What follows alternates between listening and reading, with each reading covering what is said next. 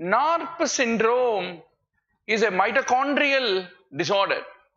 Neuropathy, ataxia, retinitis pigmentosa, and uh, it is a maternally inherited condition. And there are seizures, sensory neuropathy, dementia, and weakness. That is that characterizes the NARP syndrome. Is what you need to remember. So neurogenic muscle weakness, that is myopathy, ataxia, retinitis pigmentosa, dementia, seizures, migraine and mental retardation. If you do the muscle biopsy as such, it will be normal. And uh, biochemically if you test, then you will find abnormal ATPase activity and low levels of citrulline in the blood, which is an important surrogate marker. And uh, genetically, it is uh, the um, uh, mitochondrial inheritance is what you need to remember. A three-year-old kid accidentally swallowed a small button battery. It's a very common uh, clinical problem. I think casualty posting in internship is for one month. So in this one month casualty, I am very sure you got a chance to do venesection, resuscitate a OP poisoning case, and find a child who has swallowed a some foreign body. So what do you want to do? It is being found in the stomach. What is the next appropriate step? Just assure the patients.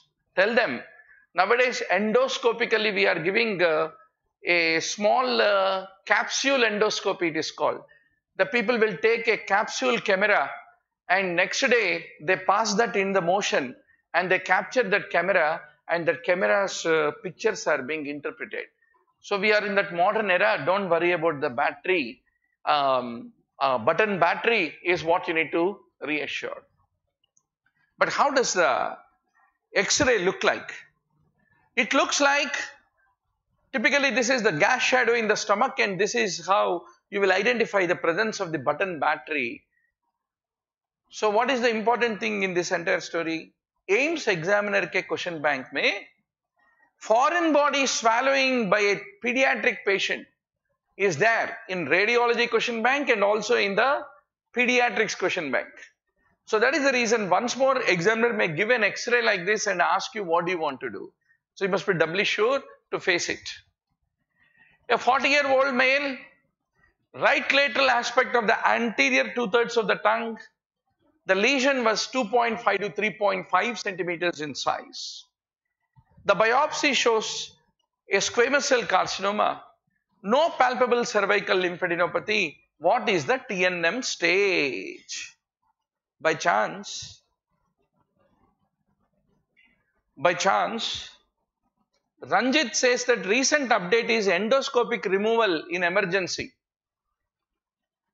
I'm not very sure on the update, but let us recheck it. Yeah, a good point.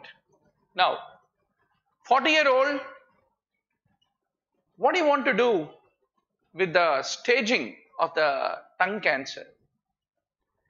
If you didn't go through that standard question asked by the examiner, the table of the American Journal uh, uh, of Cancer Society's uh, um, Joint Commission for Cancer, uh, if you don't uh, review that uh, list of TNM, you can't help at all in the exam. Definitely they will ask because in this country, oropharyngeal cancer is the most common cancer. T1 is less than 2 centimeters, T2 is 2 to 4 centimeters, T3 is more than 4 centimeters and uh, typically uh, T4A is an invasive uh, lesion is what you have to basically remember. You call it as TX, doctor is unable to assess the primary tumor. T0 if the, he is unable to find the primary tumor. Then you have a TIS, T1, T2, T3, T4A and T4B. T4B is when it is very much locally advanced. So similarly you have a N1, N2A, N2B, N2C, N, N3 it all dependent upon How is the lymph node? Lymph node is less than 3 centimeters, it is N1. 3 to 6 centimeters ipsilaterally, then it is N2A. If it is less than 6 centimeters, N2B. And if it is less than 6 but contralaterally also it has spread, it is N2C. And it is called N3 if it is more than 6 centimeters ipsilaterally and contralaterally if it is also palpable tumor, then a palpable lymph node, then that become the N3 is what you have to basically remember. Somehow you have to master this because one more question is going to come in the NEET PG 2019 also. That is that is a reason. Then MG, M0 is no evidence of metastasis. M1 is the presence of the metastasis. So you call stage 0 if it is in situ T N0 M0. Stage 1 if it is T1 N0 M0. Stage 2 if it is T2 N0 M0. Stage 3 you call it if it is T3 N0 M0 or T1 N1 M0, T2 N1 M0 or T3 N1 M0. That means M is always 0 in the stage 3 also.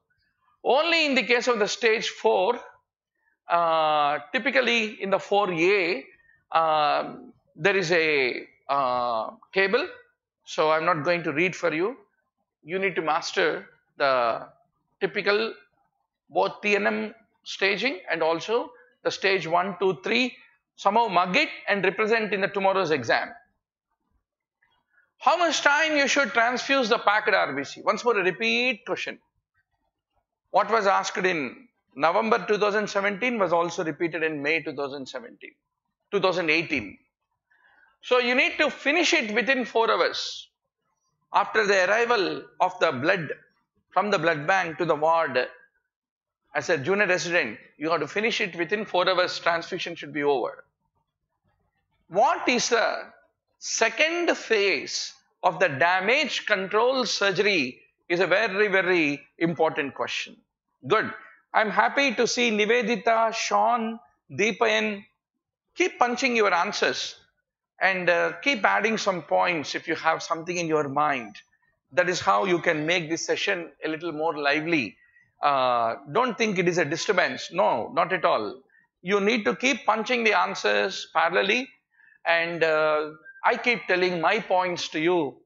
I also came prepared to the session just like you. Okay? So that is a whole idea. So in the ICU, so what is second phase? Typically in the damage control surgery, in the phase 1, you will select the patient. Phase 2, you control the hemorrhage and you will be um, controlling the contamination. That is stage 2.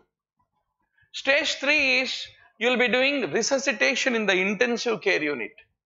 And um, I mean, uh, you will be continuing the resuscitation in the intensive care unit, which you have started in the stage 2 to control the hemorrhage and uh, um, contamination.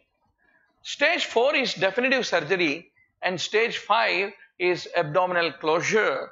That's how you do the typical uh, damage control surgery is what you have to basically remember. So that is the reason the second phase to control the contamination and to control the bleeding, you will be doing it in the ICU is what you have to basically remember.